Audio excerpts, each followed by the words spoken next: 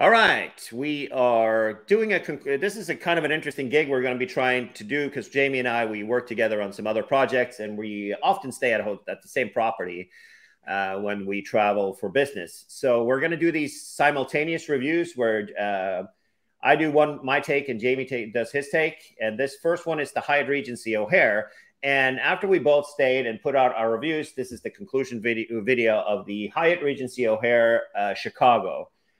Uh, so Jamie, um, check-in was a little bit of a uh, shit show. Eh, we're talking about 20 to 30 people ahead of us and uh, only like one or two desk clerks working there. And we lucked out because somebody came out and manned the globalist one after about 10 minutes.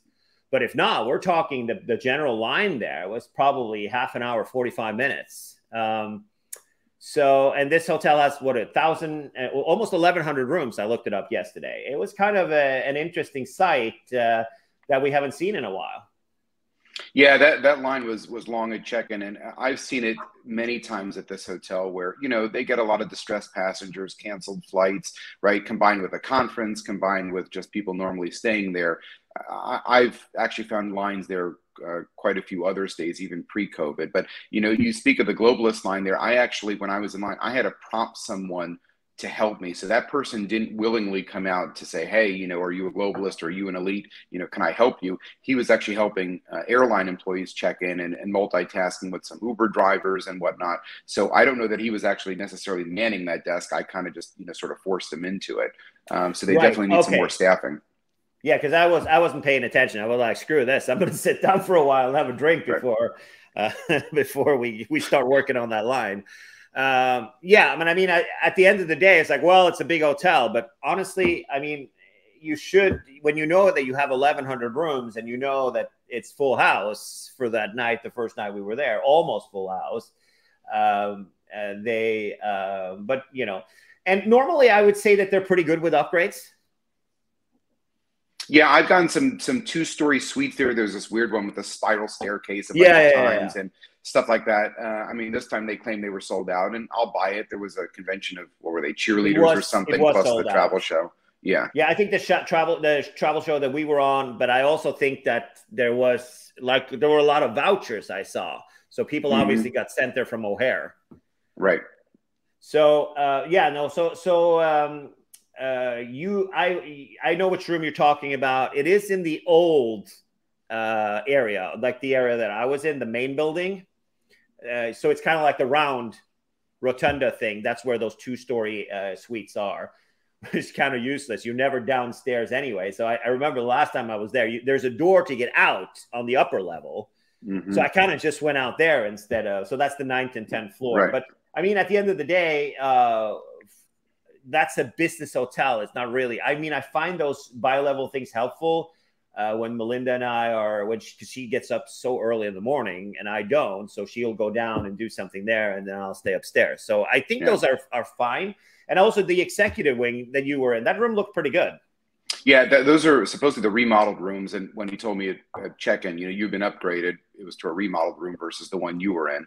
Um, right. Nothing, you know, overly fancy. I actually noted in my video that I thought some of the tiling in the bathroom was the original tile. So I, I think maybe in some portions of the room they may have kept some of the old features just maybe as a cost-cutting move. Uh, but it was certainly a normal, you know, new Hyatt Regency room. Uh, but I think that a good tip is to have people ask for the room in the executive wing because that's mm-hmm. that's the good one. It's also more quiet over there. I mean, I don't you don't hear the airplanes as much, especially if you head on the if you're on the south side of it or south east side of it. Mm-hmm. Uh, so so I, I, there's a lot more noise in the building that I was in, and the, and the room is like comically small. It was just the bathroom is like a cruise bathroom, cruise cabin bathroom. It's it's very very tiny. Mm. Uh, let's talk about the service though. So we we noticed that they've cut back. They don't have valet parking in a hotel that's crowded and full and has over a thousand rooms. No valet parking is offered. Um, they did not offer uh, the room service was changed before the pandemic. They they discontinued all the room service with you know uh, plates and and and forks and knives and things like that and you can order off a menu. It's only for the order. Should we call it a Starbucks? Yeah, whatever that cafe is in the on the lobby there. So it's like a coffee shop where they have pre-made sandwiches and pre-made this and pre-made that. Uh, they had some things that they make. They just put it in the oven, eh, but it's like a Starbucks oven. So they discontinued. I think 2017 or 2018 they started doing that, and they bring it to you. And I, I don't even think they brought it to me. I think I have to go down and pick it up. Uh, I'm not sure. I don't know that I've stayed at that hotel since COVID. So I don't. The last time I was there, the club was open, so I just had breakfast in there. Right. Um, I think that we got in really late one evening, and I think it was closed. And I think also um, I wanted to order something, whatever it was, and I think I had to go pick it up. I'm not sure. I'm not gonna. I'm not going to say that for certain, but it, it's definitely coffee shop food that's been laying around for a while. It's nothing fresh right. that's made um, and nice. And that's kind of the breakfast too. So the club is closed. Um, will it open? You think? It's anyone's guess at this point. Uh, but but what I do think is that the breakfast offering is um, that that had been picked over the restaurant that we went to. Right, there was stuff that were out. They were out of bagels. There was stuff was sitting there was cold or or warm when it should have been, and you know that kind of stuff. So I don't know right. whether the club itself will return, but I think whatever they're doing now is not exactly a, a full replacement. No, I, I think that the club is fine. They got an espresso machine in there. They got bottles of water that you can bring with you. You can get yeah. a, a, soda. You can get a whatever, all sorts of various things that they have in there. Uh, yogurt is pretty good. They had it in a real bowl, not those plastic plastic thing. Is the the, bre- the general breakfast, and also they back in a day that also has been gone for a few years. They were also having a happy hour where you can get a glass mm-hmm. of wine, and also mm-hmm. something that was fairly decent as well. Now they charge you know nine bucks or whatever for uh, for uh, for canvas, and uh, but obviously it's not even open anymore. Um, right. So you have the lobby bar, you have the coffee shop in the corner, and then you have the restaurant that's not a restaurant anymore. It is just for breakfast and no menu and the lowest quality junk I think I've ever seen. This was like a Winco, uh, you know, type of uh, overstock crap, and the the pineapple was white and the bread was stale and everything you know there was it was not replenished it was cold. They had one guy work in the restaurant plus the chef. The chef was making like omelets and things but you could see from that egg mixture that he was putting in it that that's really not uh, you know I, I, I made some eggs uh, when i got home uh, yesterday morning. Um, and you know it's you can taste the difference in that. It was just the saddest thing I ever saw. Mm-hmm. And you know, the other thing we were talking about this before that when we checked into the restaurant, they've got this new procedure where I guess you have to sign the receipt before you go in, just because mm-hmm. of COVID. They check your card.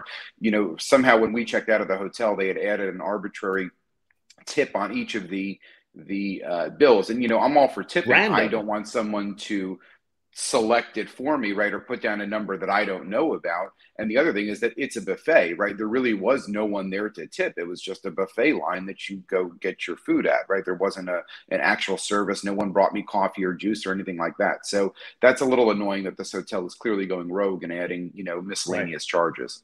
Right. No, I, I, don't know what the hell that was. It was on all of our checks, and it was also like 28 cents. It was right. just so weird. Uh, I don't know what, what the story is. Maybe they have to put a minimal in. We'll figure it out because, but you know, all of our checks for the for the five rooms that we had uh, for for us and for staff uh, had like 18 cents, 29 cents, yeah. or whatever different tips for the restaurant yeah. for all of them, uh, which I thought was. Um, probably a mistake at best. But since it all it wasn't all uh, all of the rooms, that I don't think so. It, it's something that they added. I mean, did they think that people don't check their bill or whatever? It's well, you know, the weird thing is, is that you sign the receipt before you go into the restaurant, right? I've never really been in an environment where you tip before you've even received any service, right? Mm-hmm. So no one brought me anything, but but somehow someone added the tip, I guess, as I walked in. Anyway, it could be a mistake, it could not be, but I guess we'll find out if we ask for those to be, you know, refunded. It's it's lame. It's just uh, it's just, uh, and I I honestly think that this hotel can do a lot better. I mean, so we, we talk about the rate. You are you were obviously qualified for a much lower rate than I was, uh, but at the end of the day, I would say that the average for this hotel is probably from 130 to 150 its normal price. It was 190 was the member rate for the weekend we were there because it was full multiply that up with a thousand rooms when it's full and uh, rock and roll baby let's say that the right. average is 130 even with the the relief race for the airports people are who are uh, who are stuck and stuff right. i don't know i think that they need to do a lot better than what they're doing i think that yeah. it's uh, it's that place is i'm giving it a thumbs down i think we're we this is not what Hyatt would like to uh, show off as the you know it's supposed to be like the number one airport hotel and, and it is size wise but it's sure. very sad no room service the breakfast sucks um, and uh, lots of COVID crap and also that Vicky she got uh, food poisoning, food poisoning, on Friday night at the mm-hmm. at the restaurant. Yeah, which uh, and, and it other... was the only meal she had before she left her right. since she left her house, and and it had to be that, and she was flat right. out all of Sunday. Sure. Um, no, Saturday. I mean, so that's yeah. I don't know. I, I, I just a lot of people I know. A lot of people stay there. A lot of our followers, uh, FTU fans and FTU community, our friends, they stay there. It's it's a good. I think the conclusion should be a great place place to crash overnight, but get out of there as soon as you can. Yeah, I, I, mean, for us, we were at that convention right across the walkway there. So, I mean, it's fine finding another hotel that's going to do that. You know, probably yeah. not. You know, well, the walkway the from the Hilton is, is much shorter. So yeah. I say we go for next year. We'll try that instead. How about that? There you go. I'm all for it.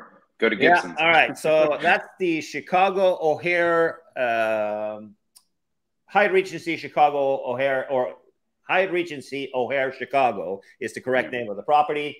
Uh, guys, if you're watching, do better. This is not good enough for what gets delivered. And when it's full house, it's not COVID anymore. That's eh, that's it's not an excuse when you have over a thousand rooms that are filled filled, uh, unless they have parts of the uh, of the hotel locked off. But the number of people we saw, I find that highly unlikely that that's the case. Uh, all right. Uh, anything you need to add? To, want to add to that?